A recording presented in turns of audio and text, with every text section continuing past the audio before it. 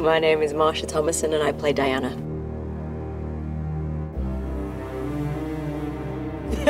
Who is Diana indeed?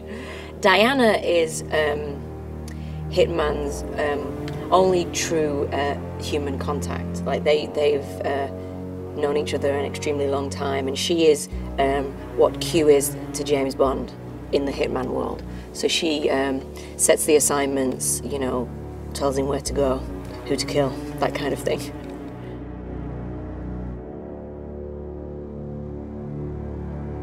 I thought it was going to be very restricting to have the camera in front of my face, but it's amazing how quickly you get used to it. And there's something actually very freeing about it because, you know, there is no set really, you know, we're, we're just on uh, wooden apple boxes or whatever.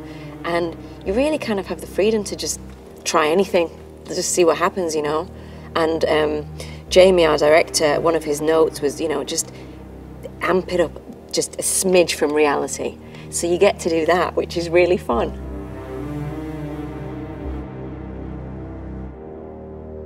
I had a little look at the monitors. It was bit, I kept doing this and watching the monitor doing what I was doing, which was really fun.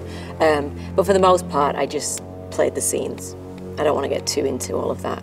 But it's fascinating that I'm in this suit, you know, moving around, and there is kind of a, a mock me. It's great.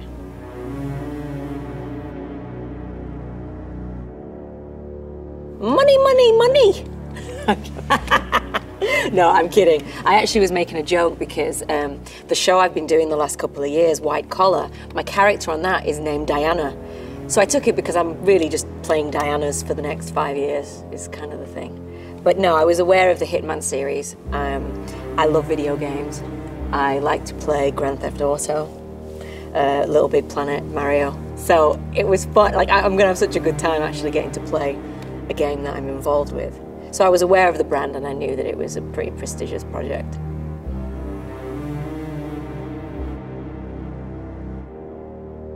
Yeah, um, when I arrived this morning, I don't know, I think I was kind of open. I knew it was going to be very different and otherworldly. But I had a scene today um, in a bathroom with a shower. And there's a shower curtain. And I, and whatever, I have to interact with this shower curtain. And I wondered, will there really be a shower curtain? I thought at least I would get that. But no, it's, you know, it's all make-believe. The shower curtain is in front of you. It's really like, it takes it really back to basics. Like being in my bedroom at home, making theatre.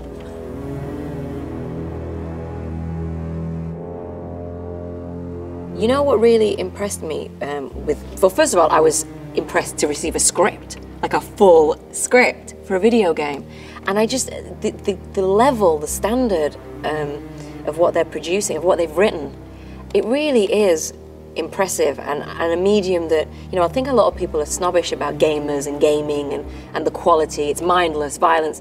Well, I disagree because I really think there's true artistry involved in what they do, uh, both on the animation side and in the writing. I was really, really impressed.